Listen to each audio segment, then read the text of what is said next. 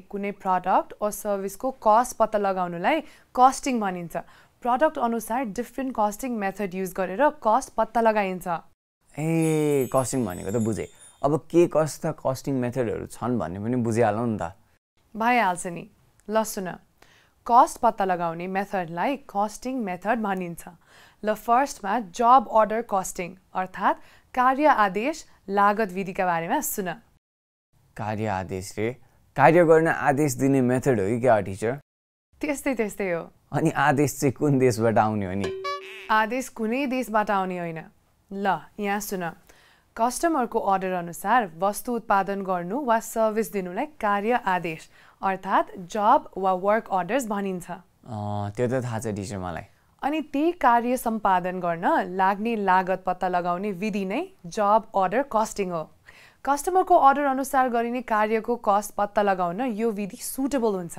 ए अनि कस्टमरको अर्डर अनुसार बनाउने भनेपछि त कस्टमरले आफ्नो साइज अनुसारको कपडा बनाउन लगाएको जस्तै हो टिचर हो जस्तै धारा जडान गर्ने घर रङरोगन गर्ने विद्युत जडान गर्ने बिहेको कार्ड अर्डर अनुसार प्रिन्ट गर्ने आदि कार्यहरू पनि कस्टमरको अर्डर अनुसार गरिन्छ।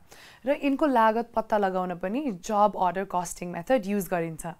ए हाम्रो आमाको बिजनेसमा कुनै कस्टमरले फाइभ हन्ड्रेडवटा ढाका टोपीको अर्डर दियो भने त्यसको कस्टिङका लागि जब अर्डर कस्टिङ नै युज गरि नै रहेछ है।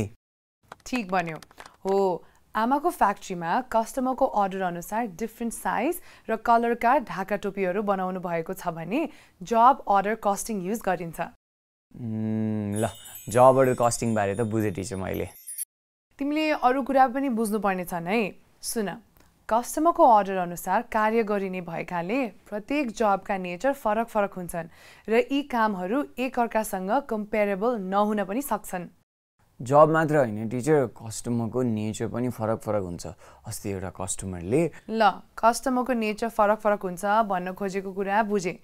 तिमीले अहिले चाहिँ प्रत्येक जब फरक फरक हुन सक्छन् भन्ने चाहिँ बुझ है जस्तै एउटा कस्टमरका लागि बनाइएको जुलरीको डिजाइन अर्को कस्टमरको भन्दा फरक हुन्छ। अनि एउटा कुरा क्या टिचर?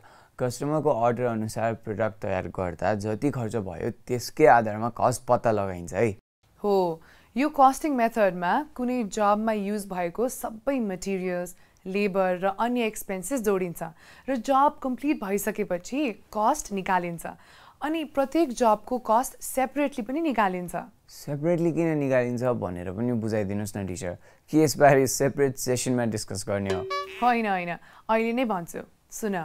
किनभने कस्टमरको अर्डर अनुसार प्रडक्ट बनाउँदा डिफ्रेन्ट मटेरियल्सको डिफ्रेन्ट क्वान्टिटी चाहिन्छ र प्रत्येक जब पनि डिफ्रेन्ट नेचरको हुन्छ। कुरा त यस्तो पो रहेछ है। अनि प्रत्येक जब कस्टमरको अर्डर अनुसार फरक फरक। अर्थात् कस्टमाइज्ड हुने भएकाले मसिनभन्दा धेरै लेबर युज गरिन्छ। लेबर किन धेरै युज गरिन्छ त टिचर मसिन युज गर्दा मसिनको फ्युज उड्छ भनेर हो। होइन होइन। यहाँ सुन। कस्टमरको अर्डर अनुसारको प्रडक्ट बनाउन अर्थात् कस्टमाइज गर्न त मानिसले नै बनाउनुपर्छ मसिनले मात्र प्रड्युस गर्यो भने त सबै एउटै टाइपको प्रडक्ट बन्छ नि। ए बल्ल बुझ्दै टिचर जब अर्डर कस्टिङ भनेको कस्टमरको अर्डर अनुसार प्रडक्ट बनाउँदा युज गरिने कस्टिङ मेथड रहेछ। एकदम ठिक भन्यो।